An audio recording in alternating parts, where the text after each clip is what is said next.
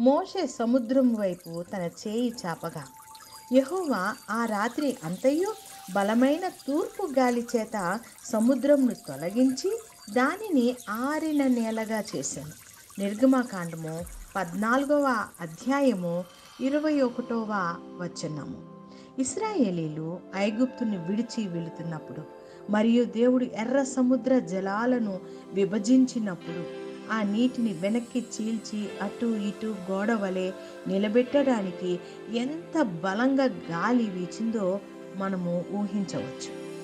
అది చాలా బలమైన శబ్దముతో భీతి గొలిపే ధ్వనితో మరియు అస్తవ్యస్తంగా ఉండి ఉండవచ్చు.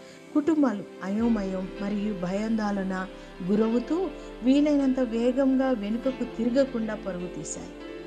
వారు వేరే ఆలోచనతో దేవుడు తుఫానుపై మరొక తుఫాను పంపారని. వారు బహుశా ఇది దేవుని కార్యము కాదు పరిస్థితులు మెరుగుపడటానికి బదులుగా మరింత దిగజారుతున్నాయి అని అనుకొని ఉండవచ్చు. కానీ వారు దానిని అధిగమించే వరకు దేవుడు ఏమి చేస్తున్నారో వారికి తెలియదు. నీవు ఒక అద్భుతం నాకు మధ్యలో ఉన్నప్పుడు కొన్నిసార్లు అది అస్తవ్యస్తంగా అనిపిస్తుంది. దేవదూతల తంబుర సితార నాదములు మరియు పరలోక గాయక బృందాలు పాడటం నీవు వినకపోవచ్చు. నీ పరిస్థితులు సమస్యాత్మకంగా సందడిగా వ్యతిరేకతతో నిండి ఉండవచ్చు. అయితే నీవు విశ్వాసం చూపగలిగే అవకాశం అదే. భవిష్యత్తులో ఏమిటో మనకు తెలియదు. కానీ భవిష్యత్తును ఎవరు కలిగి ఉంటారో మనకు తెలుసు. అవును అక్కడ అనిశ్చిత పరిస్థితి కనిపిస్తుంది. ఉన్నా కానీ నీ దేవుడు గాలులను నియంత్రించే దేవుడు.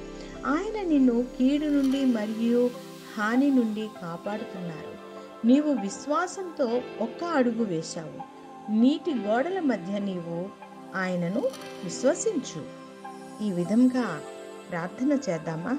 తండ్రి మీరు ఇప్పటికీ గాలులను నియంత్రిస్తున్నందుకు మరియు మీరు ఇప్పటికీ కష్టాలని ఎర్ర సముద్రాన్ని విడగొట్టిన నన్ను తీసుకువచ్చారని మీకు వందనములు. నీటి గోడలను నిలిపి కీడు నుండి మరియు హాని నుండి నన్ను కాపాడినందుకు మీకు వందనములు. నా జీవిత ప్రయాణంలో మీపైన పూర్తి విశ్వాసం ప్రకటించుచు యేసు నామంలో ప్రార్థించుచున్నాను తండ్రి. ఆమెన్.